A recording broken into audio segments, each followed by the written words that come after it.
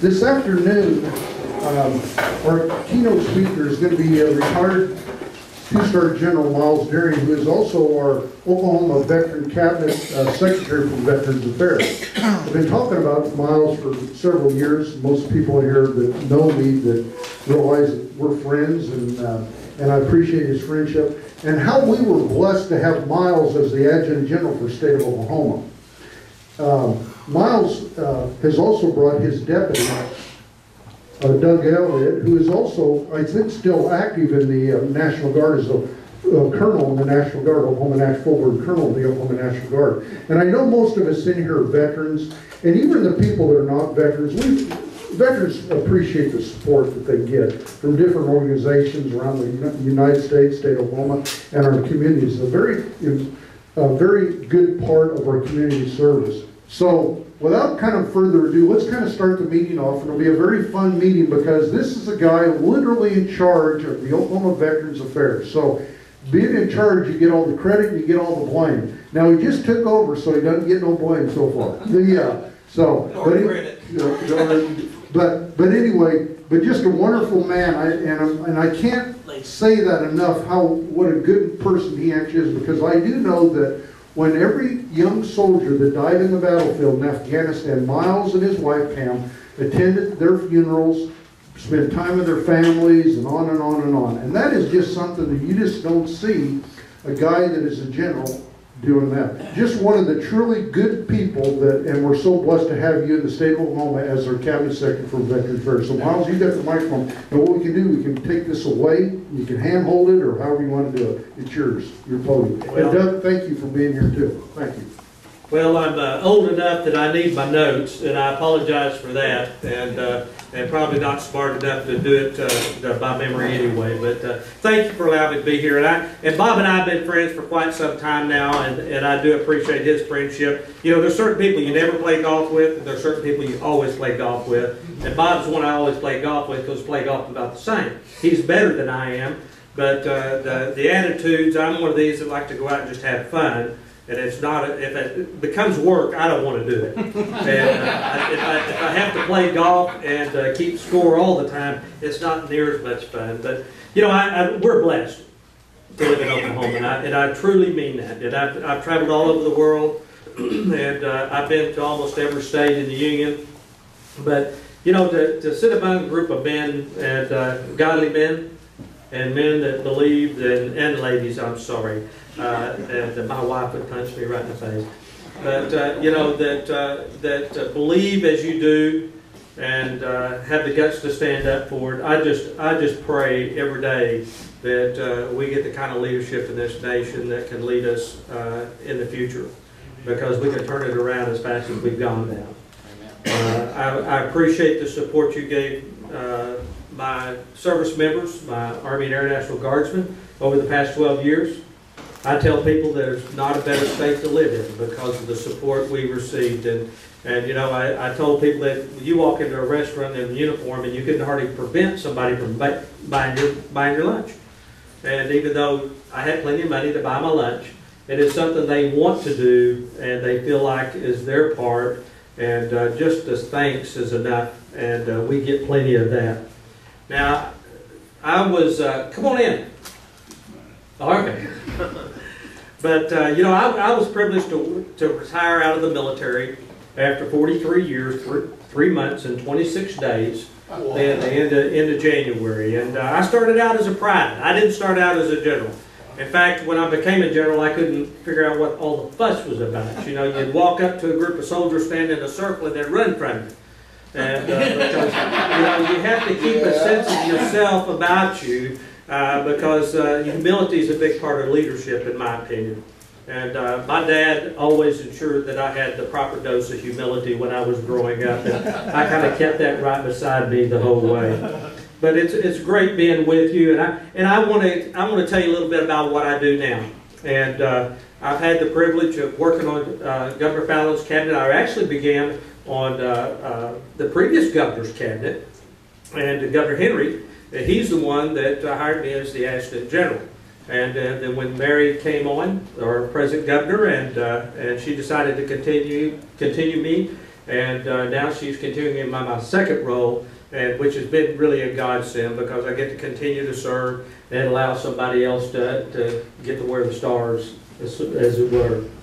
Now, I, I have a lot of duties, and uh, when I took this job, I really didn't know what I was in for. But I knew I was going to get to serve veterans. My dad's a veteran, my son's a veteran, my dad was a veteran, my son is a veteran, and uh, I'm a veteran myself. And, uh, you know, pretty soon it's time to sh- put up or shut up. And, uh, and, and I want to see our veterans well taken care of in this nation, in this state. And uh, they deserve the very best that we have to offer. And uh, the, the Oklahoma Department of Veterans Affairs has some very distinct roles from the standard VA. Now, do- how many of you know the difference? Uh, The Veterans Administration is basically responsible for running our hospitals and our clinics in Oklahoma. There's a VA hospital here in Oklahoma City, down by the health complex, there's one in Muskogee. Uh, And, uh, and they are both hospitals, and then we have clinics all over the state. The Oklahoma Department of Veterans Affairs basically runs our veterans centers in Norman, and, and, uh, uh, well, this is a memory test here, and uh, so that's why I have a list made up here. But Ardmore, Claremore, Clinton, Lawton, Norman, Sulphur, and Talihina. Most of you probably don't know, but Oklahoma has more long-term care resident capability than almost any other state in the nation. We have 1,423 beds in seven centers across the state. Uh, The two largest ones are Ardmore, I'm, I'm sorry, Claremore and Norman, and the smallest one is in Sulphur with 122 beds. Now, I want to tell you, these centers are great centers. Now, they've made the news. And I understand that, you know, and, uh, and uh, probably our agency probably has done as much uh, harm ourselves as anything else in terms of the uh, attention we got. But this is hard business. Nursing homes are hard business. It's the tough part of people's life. I know. I just, my mother and, uh, and, and Bob's mother both. Uh, my mother passed away about two years ago in March, and she spent eight years in assisted living and uh, nursing care. But I can tell you that your veteran centers, how are you doing? Our, your veteran centers are as good, if not better, than any I have ever seen. How many of you been inside of one of our veteran centers at Norman? You know, the first thing that struck me when you walk inside of them, they don't smell like a nursing home. They're clean, they're well kept, the patients are well taken care of. Uh, but we do have our issues. You know, we have the standard issues that any other long-term care facility or any hospital for that matter has. And that is your youngest, the people who provide the direct care to those patients. And those are your uh, CMAs, your medical aides. And they're not highly paid. And you expect a lot of them. They have the dirtiest, the toughest job on the floor, and that's the care that, the, that is provided one-on-one with those patients. And so we work real hard, and we're working real hard to fix those issues and fix those problems within our homes. And uh, it's, I am bound and determined that uh, we are going to maintain the finest centers in the United States. And we're not far from it now. But we have a tough job to do because we have the most of any state in the United States. And I'm talking about even Texas and California. And that's pretty amazing to me. But we've got to do a better job for all of our veterans in the state. You know, we have over 340 veterans in the state of Oklahoma. That's a bunch. Per capita, it is pretty high compared to the rest of the United States. But you know, primarily my agency, the Oklahoma Department of Veterans Affairs, has only focused on the 1,423 residents in our facilities. We have not done a good job in, in developing the programs for all the veterans in the state.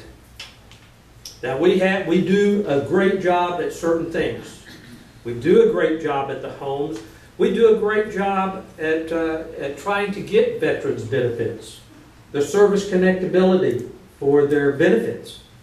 How many of you have ever filed for benefits? And uh, I've got guys that do that. We've got people assigned to the homes that do that. But the fact is, is that we need to reach, reach out and provide outreach to every veteran to ensure they're taken care of and what they need is exactly what they're getting. We've got to develop a strategic approach to what we do. I'm one of these long-term vision people. I, I believe that you can't look at tomorrow and be where you need to be in 20 years. You have to be looking out 20 years. And we have some real issues with identifying ourselves in the veterans communities, veterans knowing who we are, what we do. There should be no question about the people in this room knowing who we are as the Oklahoma Department of Veterans Affairs. But guess what? We do. And I want to make it better. I want to do the things necessary to provide you, the veterans, the benefits and the uh, capabilities that you need and have deserved and deserve for the service you perform for this nation. We need to assist all veterans in filing for benefits. You don't need to wait. Too many times our veterans are waiting till they get to the age that they need those benefits to get into our facilities, to our homes. And then we're scrambling to get the information we need. How many of you have your DD-214s? I can't tell you about the number of veterans we have that have been out of the service for 40 or 50 years that we have to go and look for those DD-214s. And it's tough to do when you've been out of the service for 50 years. We've got to help train and educate our veterans. You know, if you ever pick up anything that has to do with the government regulation, I put it down almost immediately. And uh, I met with one of the commissioners prior to even becoming employed with the Oklahoma Department of Veterans Affairs, and, and he comes into my office and he's talking about, you know, this is what you need to do, this is what you how you do this, and this is how you do that. And he says, and oh, by the way, you need to read this. And he, he plopped this book on my desk, and it was this thick. Well, it was 38 CFR, and that's the Code of Federal Regulations that governs the veterans. And it's in real tiny print. You know, it's like the smallest biblical print you've ever seen in your life. And he pops it on my desk and says, you need to know what's in this book. And I said, hey, I appreciate the advice. I said, but really, if I need to know that, then I've got a lot of other people that aren't doing their jobs. It's not me that knows how to do that. It's the people working for me that need to know how to do that. And I need the vision for the agency. I need to be able to look out, look forward, and determine what our agency needs in the future to help this group of veterans we've got coming into our system now. But we need to help educate and train our veterans because a lot of these young kids are coming in act, off active duty, and just like me, when I came home, I didn't know what I was wanting to do. I didn't know where I was going to go. I knew I was going back to college, but I just really had no course set for the future, and there wasn't anything the VA or the Oklahoma Department of Veterans Affairs could do for me. But that was only because I wasn't aware of those capabilities. We also have to look at providing job opportunities for our veterans. You know, we, we, we've got to help them with that. If we're going to train them, we're going to educate them, educate them, then what are we going to do to provide jobs for our veterans? Because if we don't, then we're going to have to have a lot of veterans dependent on society to handle their, uh, their income. And we don't want that. We want them to be able to provide for themselves and for their families. And I think that's very important. We need to work closely with veteran service organizations. How many of you remember the, the VFW or the American Legion or the uh, DAV? You know, we don't have strong organizations, uh, community organizations. I'm a member of Rotary Club. I'm a member of the American Legion, the VFW, anything I can sign up for. But the problem is, society today aren't joiners, and especially our young kids. They don't want to be a part of American Legions and VFW. So we're going to have to look at getting to them in another way. But we're going to have to do a better part in my agency partnering with the DAV, the American Legions, and the VFW, because I don't think in the past we have been good partners. And if we work separately, we're going to piecemeal ourselves and we're not going to be near as effective as we could be uh, if we were partnering. I don't intend to go out and build a big agency. You know, the Oklahoma Department of Mental Health, the Oklahoma Department of Health, the OESC, the Oklahoma Employment Securities Commission, all these agencies that are doing things in the state for the veterans. They have job programs in the OESC for veterans. Mental health has mental health programs to assist and to help our veterans. Do I need to go out and create those again? No. What I do is go in and I partner with those agencies who are already doing the job, then do my part to bring that visibility to our veterans so they know they're there for them. And we haven't done a good job at that. We need to better work with the homeless. And there is, you know, there is great homelessness among our veterans. In fact, I visited the, uh, what was the, Stand down, the what, stand down. the veteran stand down they had last week. And uh, they have great programs for homeless veterans. But we need to be more visible in the community. We need to be out front. You need to know, and they need to know who we are and what we do. High suicide rates among our service members and our veterans. Now, this is something I don't understand. I don't have a great deal of understanding on suicide. I, I just can't uh, fathom people getting to that point in their lives, but there's many of them. I lost several soldiers to suicide because they couldn't handle the, the issues that were before them. I understand, uh, you know, the PTSD because we experience a lot of that within the ranks and we experience a lot of that within our communities. And if we don't take care of it, it's going to infest our communities. And we don't receive productive citizens if we don't, if we're not going to address these issues. Now, I've always said, in looking at the agency, is the one thing the Oklahoma Department of Veterans Affairs has not done is not put itself in a good light. You know, you read the paper, and uh, you know you hear about the times we really didn't do our jobs the way we should, and the scalded patients, the patients that died unnecessarily in our care. But I'm telling you, there's a lot of good things we do in our agency. There's a lot of good resources that we have. But it's like anything else today. Does anybody want to print the good stuff? Generally, you hear about the bad, you won't hear about the good. But we have to do our part to bring the agency into light. We have to let people know the good things we are doing. And in the past, the agency is kind of hidden behind a curtain. And I want to open up that curtain. I want to partner with these other agencies. I want to partner with the other organizations so we can all strive together to help and assist the veterans in our community. We've got to do a team approach. That's the only way I know to get things done. I'm not smart enough to do it by myself. I love the collaboration. I love the teamwork. I love talking with other people that will help us bring these capabilities in the state ourselves.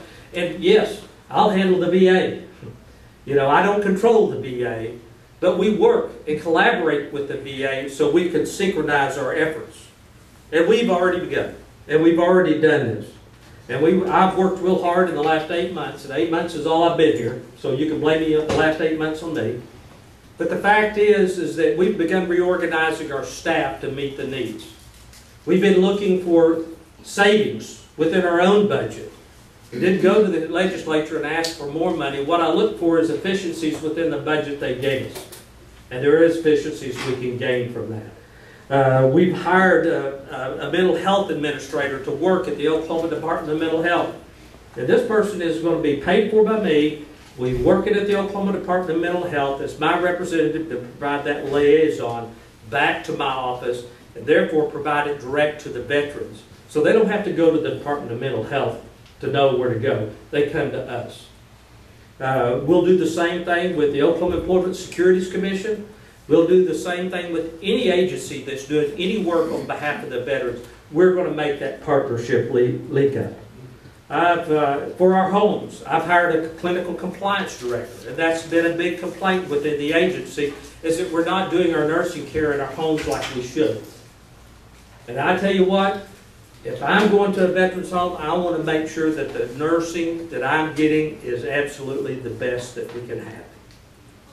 Absolutely the best. And so I've hired a compliance nurse.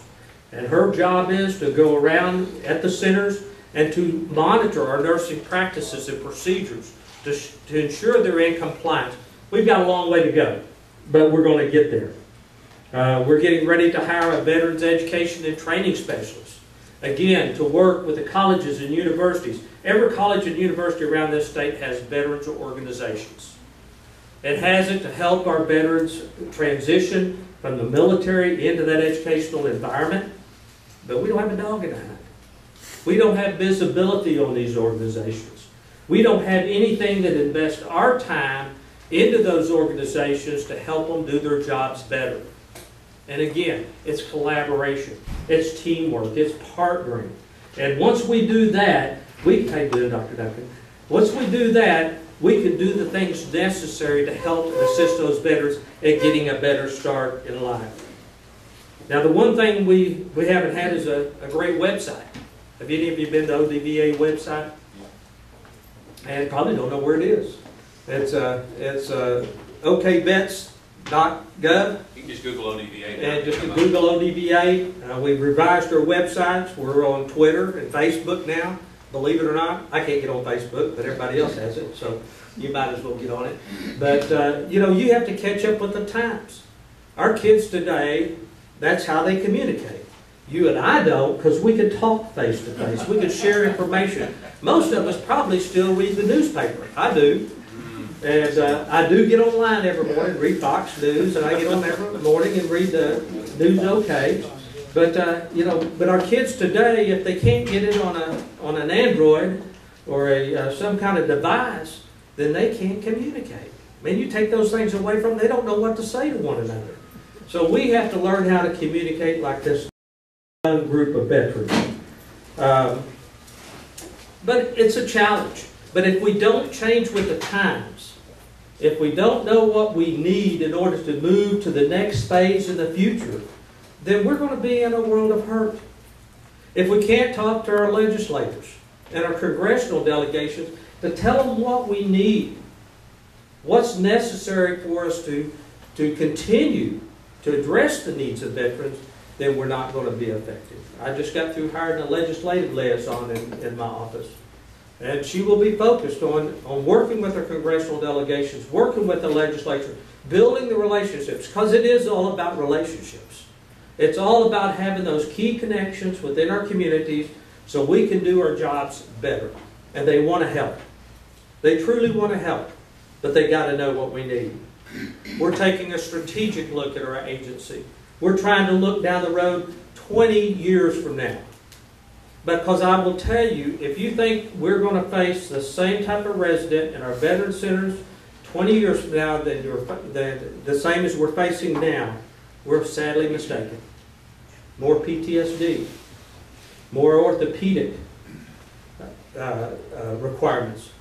You've got, you've got all kinds of things soldiers face today. We're, soldiers are surviving combat today that they wouldn't have lasted two minutes in, it, uh, in, the, in the past. And so we're going to be dealing with those injuries. We're going to be, whether mental or physical injuries, in our homes in the future.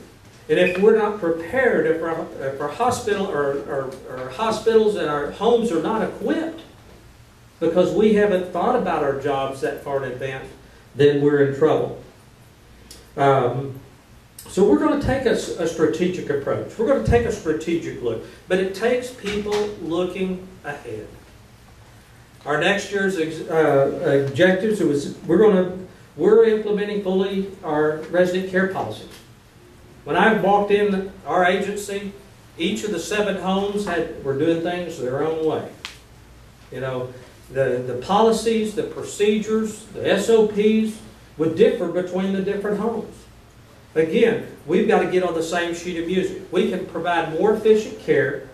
We can provide better care if we have the same standards, if we operate the, under the same policies to ensure that we know where we're going.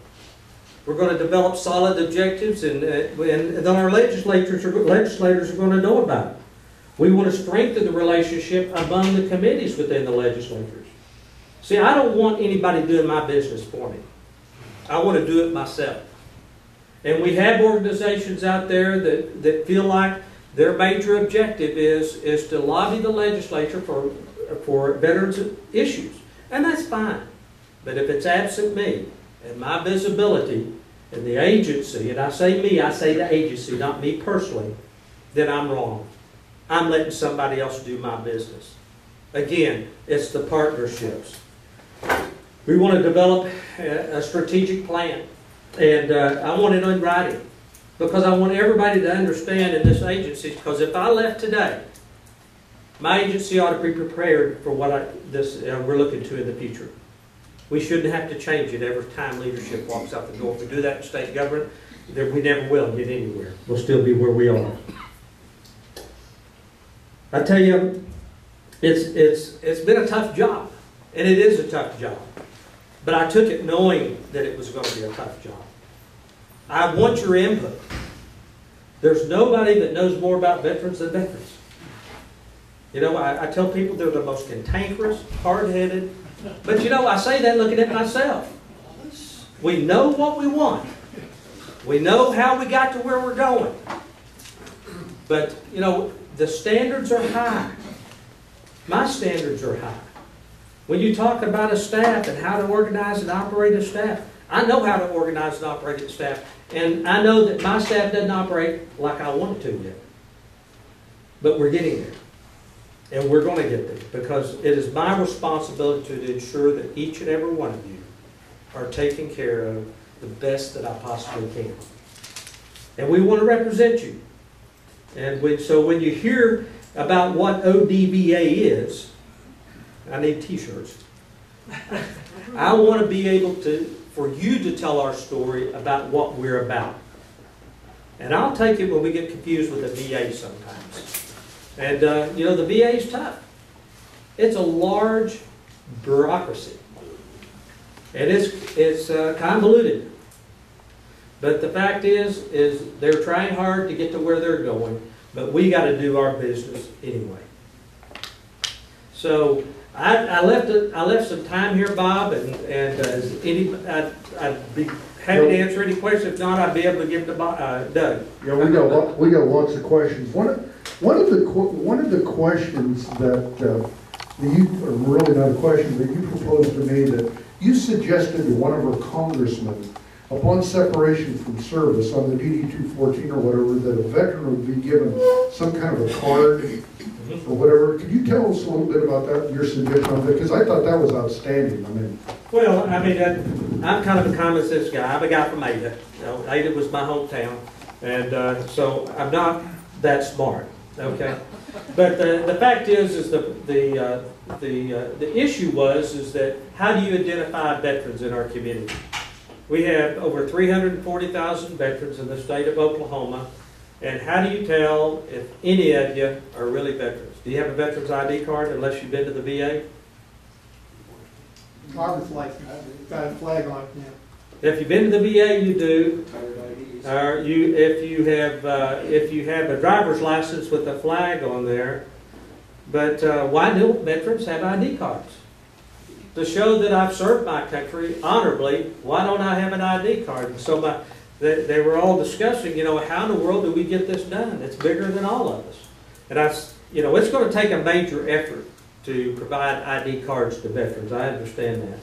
But you know, the way to start that is when an individual out processes off of active duty, you take his CAC card now, used to be our little green ID card, but you take his CAC card and you give him a veteran's ID card. Now that veteran's ID card has his picture, has pertinent information that you do, just like you do on your, your retiree ID card. But why can't I have a veteran's ID card that identifies me as a veteran and tells a little bit about me? So when somebody says, are you a veteran? I am. But not everybody retires from the military. But there's a lot of great Americans who spent their time in duty and uh, we don't have any way of identifying you know, just simple things like that that I don't think that most people realize. You, you bring up another subject matter about driver's licenses. Do you realize if you're a veteran that you can have a little flag on your driver's license that says that you're a veteran? I mean, how many people didn't know that they're veterans? Take your, take your DD two fourteen to the Oklahoma, uh, tag agency, tag agent, and you'll take that DD two fourteen down there and present it to, uh, the tag agent. They will provide you a flag on your, your ID. Will they use a, Or, or an NGB Form twenty-two for guardsmen, uh, but it has to be some form of, uh, uh, How about some your retired military ID, would they? Yes, do that? retired military ID should do it too. Uh, And I say that, remember, heavy on this should do that. Because sometimes they don't, your tag agencies don't all interpret the regulations the same. I went into one the other day and it still had a DD two fourteen, didn't have anything about an NGB twenty-two either. Well, I don't even know what you're talking about, that other, what's that other thing? NGB two, NGB Form twenty-two is the National Guard's equivalent to the DD two fourteen. Uh, so, now if you're a combat veteran, you'll all have DD two fourteens, because anybody who, who's released from active duty has a DD two fourteen. And so guardsmen actually count as part of military? Oh, Absolutely. I'm just teasing. You want my lecture on that now? or what? It's a whole lot different than it used to be, okay, that, uh, questions? Um, Good morning, your afternoon, General. Thanks for your uh, stepping up to help us all out. Um, I'm a Vietnam veteran, and I- I'm new to Oklahoma, so I'm the 341,000th person. My question is, or my comment is that uh, I went to the VA uh, Oklahoma Center about four months ago, and uh, twice I went and your office was closed. And the third time, I had to have the American Legion help me fill out my initial paperwork. Well, that was a great guy that did that, but within three weeks, he was gone and all my paperwork was lost. What I'd like to just share with you is that when, as a new person, you go to your offices on the second floor, there's nobody that, re- that, uh, a reception that helps you. Your office is sometime closed, but I do want to say the young lady, I think she's lieutenant colonel, Marcia Mason maybe, in that office, it was just wonderful. She finally decided that the American Legion wasn't gonna be able to help me much, so she took over, and I finally got into the system. But as a newcomer going to your offices, you walk in and there's like five offices, but there's no receptionist, there's no one to help you, there's no one to tell you. Now, what to do. is at the VA, that's at the VA hospital that you That's- that's the hospital. Now, I, I do, and I- and I'll provide you a card and a number if you would, uh, if you would call it. My, my central office, I always want to say headquarters, is located at 20 2311 North Central. Uh, and it's, it's two blocks, uh, west of the Capitol. And, uh, Is that where you sign up for the benefits? Yes, you can do it there too. I've got benefits people there as well, and if you just call them, they can set you up an appointment. And uh, if they don't help you, then ask for me, and I'll make sure that you get what you need. But I, I can assure you Yeah, well, they'll, My point is, is, is no one knows that until you go through, you know, getting into the parking lot, into the VA hospitals, it. Not fun. It's easier to go to his office, but it. You know, and another thing, let's, let's also distinguish the two, the two different issues here, because we got the federal VA and then we got the Oklahoma Yeah, VA. it's confusing. Now, now, my, now I'm gonna give a personal opinion, there's questions and answers, and you already know what my personal opinion is.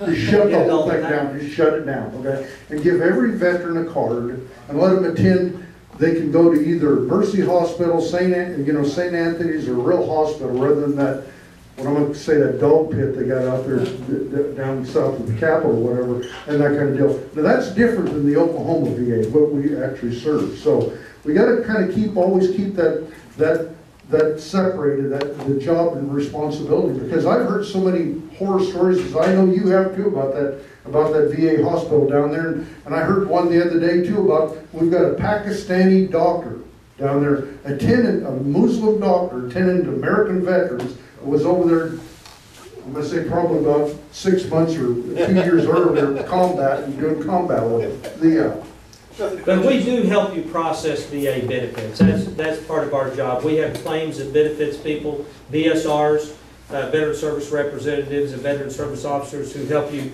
with the claims and benefits. I would encourage you, if to let us help you. And, or any of the veteran service organizations, the VFW, American Legion have those people. But, uh, we're there every day. And if, if you come in and let us help you process those, those, uh, benefits, uh, for your claims and benefits, if you have anything that, uh, is service connected, then we'll continue to, to service you in the same manner. And that is hard because, uh, those organizations, they're basically volunteers and they, they can come and go sometimes. But we, we work with them and we'll work with them, but we'll help you make the transition any way we That's what's can. confusing, General. It when is. You're dealing with. It's still confusing to me, I American promise you. In in one office and your folks. okay, in another. okay, okay, okay, yeah, that's We'll beat the dog to death. We, we, we understand it's confusing, it's very confusing, okay, very confusing. Hi, my name's Paul. Cantankerous? It take, What is it? hard-headed, Okay, I know, I'm a Vietnam vet myself, welcome home. and, um, it's been a while. Um, Well, he's really not home, his home's in California, so he's not. Well, you are home then. yeah, I know in about fifty or sixty years, I'm gonna need, uh, care. And would it be beneficial to kind of start the paperwork now, instead of having your, your kids have to do it? And how would we, uh, go about getting prepared? Well, if you have any service-connected issues, in other words, service-connected disabilities, uh, to, to go to a claims and benefits person at the Oklahoma Department of Veterans Affairs and let them help you file that claim. Now, if you don't have any of those service-connected disabilities, you can still get into the veterans' homes. Uh, The difference is if you're seventy percent or more service-connected, the VA pays the full dose of uh, per diem uh, to that center. If not, then it's a proportionate share, or for those who don't have any uh, disability whatsoever, you can still get into the homes. You will pay a per diem. And uh, it's, it's not as much as you would pay in the, in the civilian sector in a private home. Uh, And so it's a pretty good deal. And I think you'll all agree, you'd all agree if you walk through our centers, they're, they're very nice centers. But, uh, uh, and, and I would just inform my kids or my spouse. Of course, my wife knows I don't want to be put in any home. I don't care how good it is. I want to die in my bed. But, uh, but if we do, and there are times we need that kind of care that level of care, it's just inform them where to go. If you do have anything you want to file for, then, uh, then you need to file now.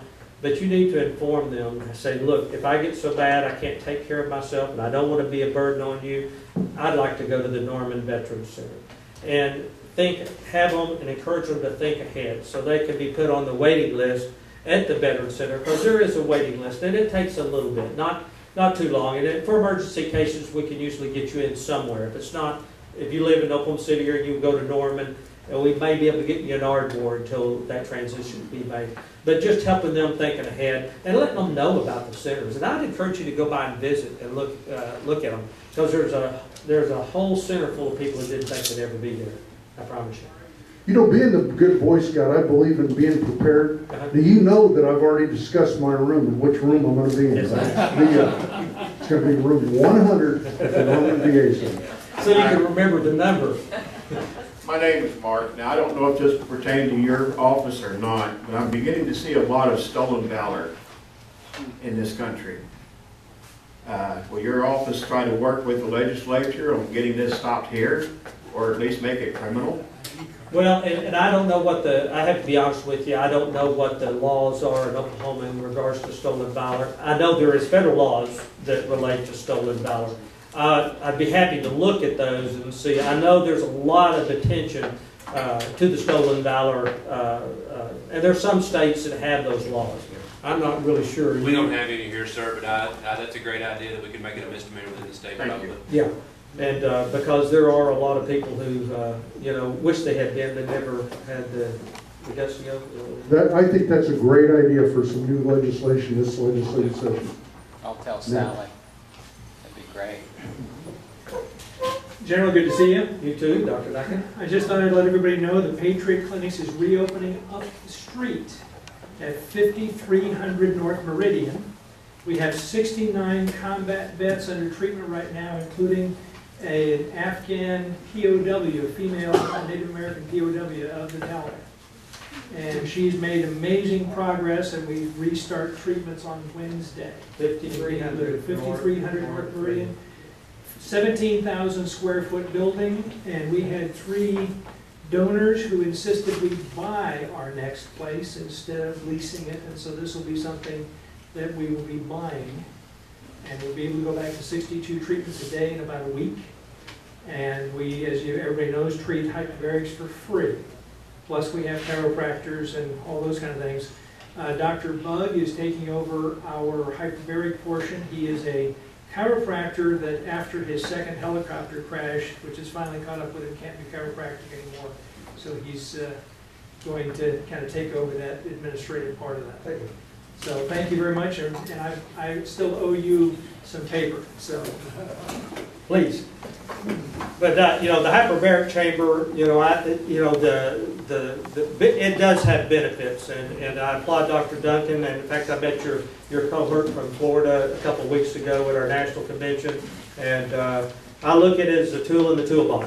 You know, not any one source of, uh, helps everybody for PTSD or those kind of things, but uh, having all those tools in the toolbox helps tremendously. And we had ten thousand treatments at our old facility just before we closed, so we've now moved the new facility, so that's, Appreciate what you're doing and along with the Hugs Project too. Hi, I'm Mike. Uh, General, um, not a complaint, but just a suggestion, and maybe it's already covered. Um, One is, like you said, the new guys are new school, but some of us are old school. And one of the things that drives me crazy is voicemail systems. Do you know if the Department of Veteran Affairs uses a voicemail system, or do they have a live, or a bunch of live people answer the phones? That's the first question. The second one, I'll go after that one. We do not have, uh, if you're talking about, uh, you know, the system, if you want this, press one, if you want this, press two, but don't, we don't have, we're, we're we're lucky to have 1970s phone right now, but, Keep it that way. but there are people answering. There's voicemail after hours, but during the day, there's somebody there to answer the phone. Second thing is, um, I went up, oh, a couple years ago for my mother and learned that there's different types of retirement. Uh, we thought we, my dad had retired from one way, I guess he retired from the Marine Corps instead of retiring from Veterans Affairs or something. You probably know what I'm talking about. But we spent four months in application for benefits for my mother and then found out my father had retired in a different manner than what we thought. I'm not complaining about that either, but I suspect that's not I'm not the only person that's ever happened to. I'm wondering if on your website you incorporate a complaint thing, not just so people can vent, but so that the highest number of certain types of complaints might be addressed on the website and those could be addressed rapidly uh, as opposed to, you know, ones that just seldom occur. We have, on our, on our website, there is a place for comments, and I encourage you to use that. So if, if you want to, if you want to give us your comments on our website, we answer those, we monitor those every day, and so we can, uh, we can do that. That, and that's what I'm asking. I'm just wondering, does someone actually monitor those and put them together and say, well, gosh, we've had 3,000 of these complaints. We need to make that a more prominent, prominent, frequently asked question. We only had three of these complaints. Does someone actively participate in monitoring that On type the of? ODVA website, I can't speak for the VA website, but the ODVA website, we do have a place, we monitor that every day, and they pull those comments and complaints off of there every day. Next. Yeah, I'm Don. Uh, General, uh, heard that there's financial help for uh, nursing homes outside of the VA nursing homes. Is that true? Uh, there, I, I believe they are looking at that, and, uh, you know, the, uh, and I'm really not that aware of the program, I mean, that familiar with the program, but there are, there is accommodation made for those who don't live close to a nursing home. But uh, I'd have to get that information for you, and, and if you'll leave me your name and number, I'll try to get some more information on it. You're talking about going to a civilian in lieu of a VA center. And getting partial help Yeah. something. And they are also starting uh, adult daycare in some states. We don't have it in Oklahoma yet, uh, but it- it's, it's coming. It's really a very complex issue that you're dealing with, and I can appreciate all your hard work you and Doug are both doing regarding that. Uh, But I want to tell the room, I talked to Representative Mike Christian this morning on the telephone, and he was, and I'm going to brag on you a little bit, the, uh, so you can, you know, buy my lunch next time or whatever. The, uh, but, and this is what I appreciate about you, your willingness to get in there and work no matter what the situation is. And when he told me that when you were the adjutant general, for Oklahoma, when it comes to budgetary items, when you, before his committee, whatever committee that is, uh, is everybody would come down there and they'd say, oh, man, we're gonna have to shut this, this cabinet down or this, this part of Oklahoma down if we don't take our, if you, we don't get more than what we did last year, on and on and on, whining and complaining about that. He said, what they always appreciate about General Deering, he came in there with a positive attitude, attitude, we need, the- we may need the money, but even if we take a pay cut, we're gonna do our job. And that, to me, epitomizes what needs to always happen, because in government, it's so difficult on some of the financial constraints that you never get all the money that you get. It's like Dr. Duncan and the organization that he's doing, gosh, I wish we could fund that thing. I mean, through our state government, that kind of thing, but unfortunately, even though we've got a bill out there, there, were- a lot of our legislators would rather fund the Indian Culture Center and the Pops Museum up in Tulsa than fi- than finance veterans and, and the needs that they have. And it's very frustrating, I know, for you and Doug and every other veteran, but that's a reality of life, I mean, that we have to deal with. But when we have somebody commanding or in, in charge of an organization like you that's continually battling those kind of things, we know that we're heading in the right direction. We're heading in the right direction. That's what I appreciate so much about you. It's hard for me with a, with a, a clear conscience, to give you different, a clear conscience to ask for money when I know I had to clean my own house. And, uh, until we, until we ensure that we're spending money the way we frugally, the way we're expected to, then it's hard to go and ask for money, and I'll never say that I, I- that if you don't give me this, I can't do my job, because I'll find a way to do my job. I mean, that's just the way my daddy brought me up, so. Question? My name is Scott, no camera. Uh, I have been down to the Patriot Clinic. My wife has been going through uh, several of the uh, treatments, several hyperbarics, quite a few in fact, and a lot of other people have, and I've been down there. They're really doing a good job. I sure hope that it gets funded uh, through the state. It needs it desperately, right, Dr. Duncan? Gen- General Deering and I are actually working, I was telling him I owed some paperwork for it. Okay, good, because they definitely need it, definitely need it. And I have, again, I have no problem with the funding of the hyperbaric chambers. I'm an advocate of the hyperbaric treatment. I, I think that the state ought to fund it. You know, that's something you need to take to your legislators and say, this needs to be done, because we advocate those kind of things every day. Senator Justice and Representative Osborn and Senator Lovelace um, definitely said they want it. That's what they told me face to face, but I don't know if they're gonna support it later. Well, you know, and and it's like we're in the, the, the budget crisis we're in, is we're gonna rob Peter to pay Paul, and, and so we just have to gingerly take it. I don't think by stamping our, or pounding our fist on the desk that you get people listening to you. I think sometimes it comes through just persuasion. Well, I've actually seen the people actually get better, do a lot of different. And I have to, I, uh, my soldiers have experienced, uh, benefit from it. Uh, Thank you. Yeah, that's what, that, I think that, that's what makes all this so difficult is the money, the money and then, and, and doing that, because every different department within Oklahoma and, and even in the federal government, everybody's kind of fighting for dollars and cents and that kind of thing. But I, but I know the room agrees with this, and I know you personally agree with this, that we need to do, when we tell somebody that we're gonna, we're gonna service our veterans, that's exactly what we need to do. And some of these kids, that it just, it kind of blows me away that they're coming out of these combat situations, they've lost limbs, and you say they've never, in Vietnam, they've never survived the battlefield, and now they're surviving. And another thing that you told me a long time ago, that I, that I've always kind of resonates with me, about the back injuries, of the average combat veteran today, what they suffer, the percentage of veterans. Could you talk a little bit about that? Was it like seventy percent or?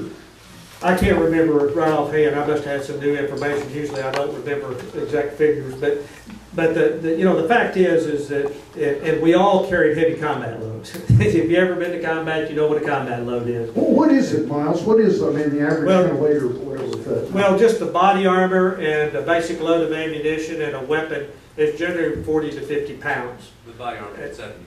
uh, seventy. Yes. And so, and we're asking these young kids uh, to, to uh, carry that stuff around for 12 hours a day and never be without it.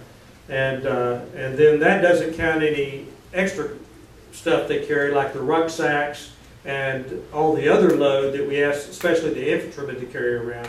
But the body armor itself, the weapons and the basic loads about, I would say 50 to 70 pounds, depending on the person. The, the, uh, the shi- the shields, uh, the SAPI plates weigh a little bit, the different, if, depending on the size of the SAPI plate. Dr. Duncan, hold on for just a second, okay? Let's, let's go quick. But And and what's gonna happen there, you've got so many back surgeries that were in our future, that we're gonna pay for that, and the disabilities with that, and on and on. So the cost of, of, of serving veterans is gonna, is just astronomical, I mean, those amounts. Well, it's, you know, your orthopedics, your knees, your ankles, your backs, your necks, all these are gonna continue to suffer as years go by, and we're gonna start experiencing a lot more of that, I fear, in the future. I mean, a lot of these kids are still young, but you're not young forever, I found that out. Yeah. Go ahead. Oh, hold, hold on, just a second, hold on. General, just a follow-up. You, you mentioned that you, uh, you don't want to necessarily go beat up the legislature. You understand budget years and things like that. Uh, on the other hand, sometimes they need a little beating, and, and maybe if there's a, an issue that needs to go forward, you might come back to the High Noon Club and, and we could administer that because I can tell you, I think it was 2007, I went through a process of amending 170 appropriation bills, and I cut every agency by 5%, except for one agency. I added $40 million to Veterans Affairs. And so they just, after 170 bills, they got about halfway through. Representative Reynolds, why do you think they need a cut? Why do you think they need a cut? And all of a sudden they said, why do you think these people need a cut? I said, didn't you read the bill? The bill increases their funding by $40 million. The uh, man was shocked, and then he had to turn and move to table the bill because he couldn't possibly have a vote taken on that. And legislators run scared of saying one thing and doing another. So when you need help with the veterans bills, and when Clark Jolley won't let the hyperbaric bill come out of his committee, someone needs to tell us so that we can administer the proper uh, remedy to make sure that the veterans are taken care of. And I'd appreciate if you would, would let us know. Absolutely, and, and, and I don't mean to under, uh, uh, to underemphasize the importance of that, but I don't want people running from me when they see me. What I want them to do is come to me greeting me. And, uh, and the fact is, is if I work in partnership, in concert with our legislature, I think that we get far more. But sometimes, you know, the screws, but the screws are better applied by other people than me. We'll do that. Uh, Again, I, uh, Nicole Miller is getting ready to come to work for me, and uh, she worked congressional offices for a long time, and she's going to work the legislature. She's got a very good background at being able to do that. But I want our, in, our, I want us to be constant and continuous in the legislature. Not to, not to pound them always, but to inform them. And I think that's our job, is to inform, and so you can better do your job, so I can better do mine. Money is good. So, we used to carry 90 pounds when I was in the infantry, and of course, it's gone up with body armor. We see that on a regular basis. That's why we have free chiropractic and acupuncture at the Patriot clinics, just for that reason. Because everybody, uh, you know, after you get thrown 100 feet, your bones can be out of place too, right?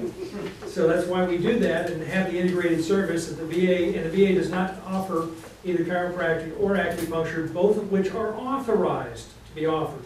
So if you come over, that, that we have an entire, uh, whole section devoted to those things. We currently, we had two chiropractors, we're gonna be at three chiropractors very shortly.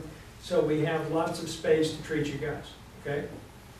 And, and again, thanks, Dr. Duncan, for doing what you're doing there. I mean, but here's something that, I'm gonna kind of drift off a that kind of drives me a little bit crazy, I don't quite understand it.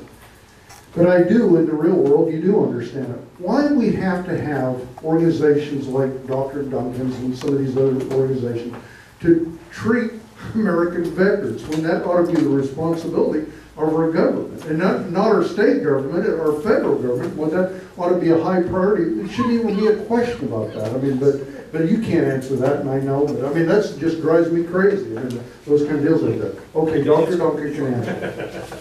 1921 Veterans Bureau Act says that if the state pays for veterans' care, the feds have to reimburse them. But nobody's enforced that, and that is part of what we're doing. Right here in Oklahoma, we have 10 other states ready to follow Oklahoma's example on this. And that's, that's part of what we're doing, because when we deliver effective care, when we lower pain thresholds, when we put people back to work, those statistics are collectible and measurable. I will tell you, I will tell you that the, the uh, legislation that Oklahoma enacted is actually used as an example. It was in the National Association of Executive Director Conference that I went to recently in Orlando. Uh, but it was part of the slide, you know, that this is the legislation that Oklahoma's done. what would have been nice is if it had been the the legislation that Oklahoma has accomplished with the funding to go along with it, because every state is fighting the same thing, is the lack of funding and the lack of capability to care for. And it's simply because as the, the Veterans Affairs, or the, uh, the- the Veterans, the VA does not recognize the hyperbaric as a- an accepted protocol. And that's, that's the reason. It- You can show them it helps people every day, but it's convincing the bureaucrats that it, it happens that way is the, is the problem. Question. Here's another American veteran. I'm Richard, I was in the Marine Corps and infantryman in Vietnam. And I got a concern because we always talk about we want to take care of veterans. But the only guys who are being taken care of are the ones who are disabled. We have three hundred and forty thousand troops out there, what are we doing for them? You know, we say, I put my life on your line, but I have to now go and put up all these forms and say I'm sick, sick, sick. My wife constantly tells me I'm PTSD, which I think I'm just a old guy. Yeah, but how are we gonna take care of these three hundred forty thousand? I mean, go, I, I got this, my driver's license to go to Home Depot or Lowe's and say, I'm a veteran, they'll give me a ten percent discount. Why don't you go out there and take away all my income tax? Stop taking my income tax. And no, no sales tax. Don't make me be hundred percent disabled. I went out there and put my life on the line to save American philosophy. And all you do is promise me if I got hurt. That annoys me. I don't have any argument. I mean, it's, uh, I don't, the, you know, but to, to convince the politicians, the, the the legislature and the, and the Congress that that's what we need to do becomes problematic. And because uh, they depend on that income, they depend on that to operate our state. I don't have a good answer for you. I think ever ever better not to have the benefits, exactly what you, you laid out. I think they deserve that.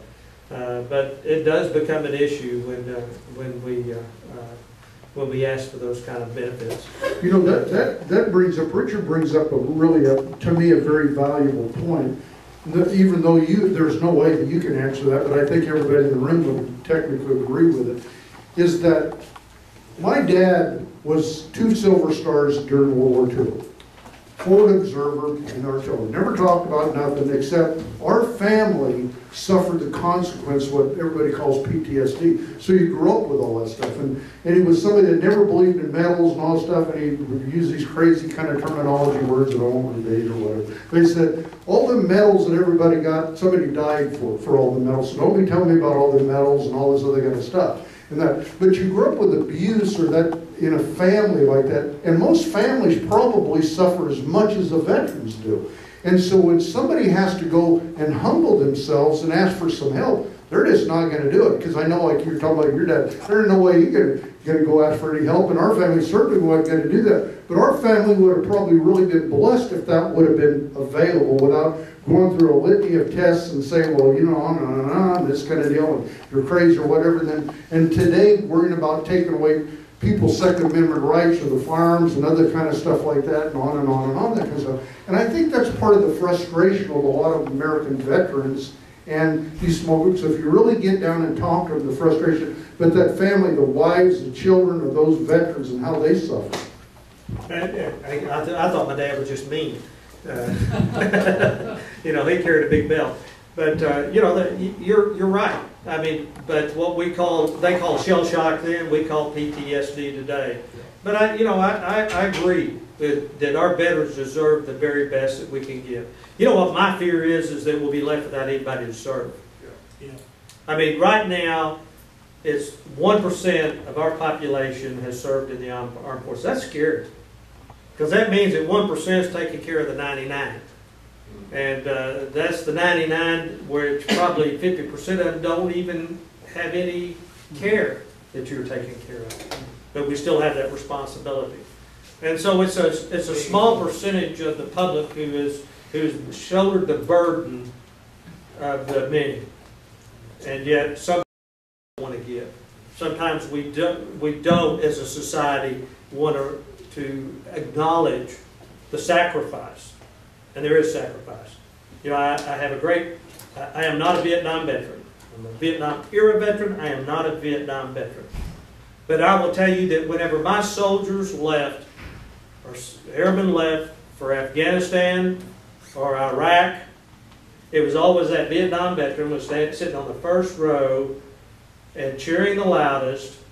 They were always the one in the motorcycle uh, uh, processions that ensured my soldiers didn't get treated like they got treated. And we owe it to every veteran to ensure that never happens in our nation again. And by the way, Vietnam veterans, thank you for your service. Welcome home. Uh, you can you can stand at any of my formations any day, and uh, because uh, you're you're oh, you are the only reason that that the support for our soldiers and service members have lasted for 12 years. I'm not sure what you said. Will you say it again? Only in high Well, there, that, that kills the mood, isn't it? But no, I- I- and I'm, and I'm serious, I'm not, I'm serious when I say that, is, is what the, what the service members don't understand is, is the support for our service members start right here at home. And I used to tell them, you know, guardsmen and reservists, you know, we, we should have learned a lesson in Vietnam, is we didn't take any of those young men and women to Vietnam with us, and it left the support for the war right back here at home. It didn't take it overseas with us. But uh, anyway, thank you for your service and welcome home.